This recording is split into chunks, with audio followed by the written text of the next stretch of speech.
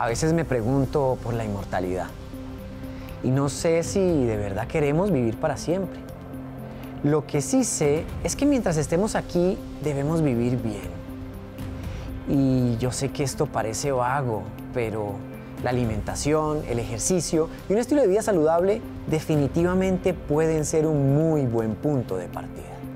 Soy el doctor Oscar Rosero y quiero invitarte a que no te pierdas mi nuevo programa Saber Estar Bien. Gran estreno este 7 de marzo a las 5 y 30 de la tarde por Red Más.